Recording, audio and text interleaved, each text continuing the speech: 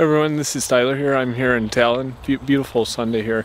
And I want to discuss a quick topic here. That's why I think the Slovaks are the weirdest people of Eastern Europe.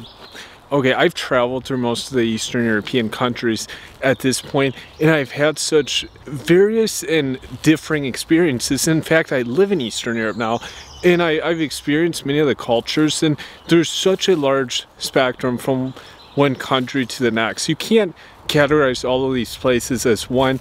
And I've learned that even though they share some similarities culturally and the languages are tied to each other, kind of like romantic languages are tied to each other, the Slavic languages share a common root. Beyond that, there's actually many differences, and it's important people understand this.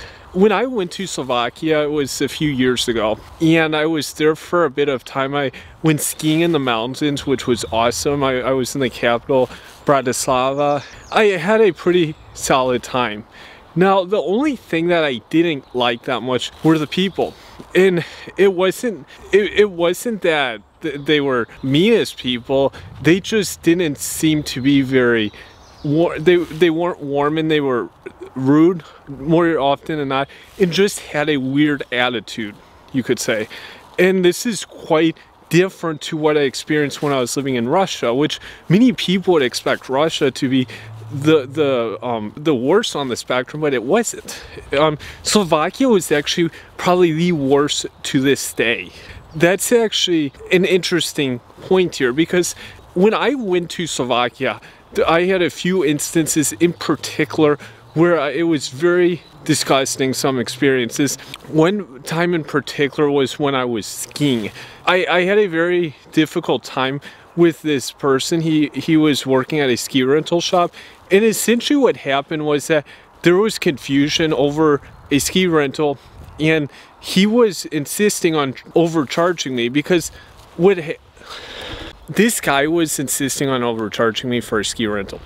What eventually happened is that I was able to come to a compromise, but he was so rude. This was a big ski resort for people from all over, from all over Europe, from out of the out of the continent. Perhaps this guy didn't like people from from the U.S. I, I don't know what it was, but nonetheless, it was a very unpleasant experience. I had other experiences with people, whether I was at restaurants um, an accommodation I was staying at, there were various places where it was just poor service and people were weird, honestly.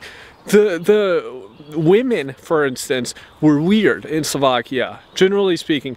There were some nice people, mind you. I had one instance in particular where the this couple I had hurt my leg when I was skiing and they actually drove me from the the city or I was in the north of Slovakia and they, they drove me about 10 kilometers to the closest city so I could go to a medical clinic.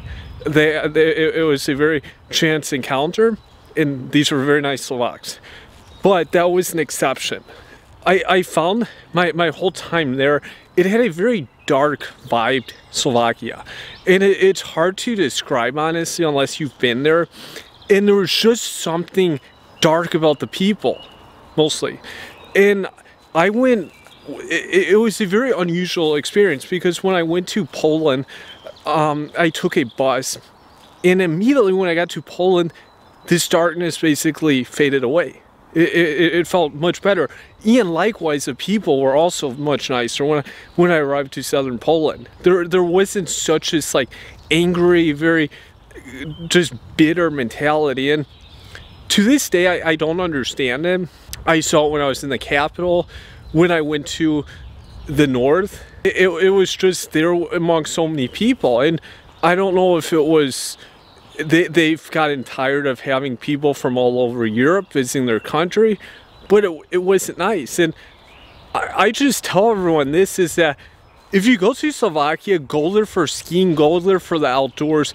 Don't go there for the women. Don't go there for other tourist experiences. There's other countries such as Poland or Hungary that are much better. They're nicer to foreign people and you'll probably enjoy it more. Give me your feedback and thank you.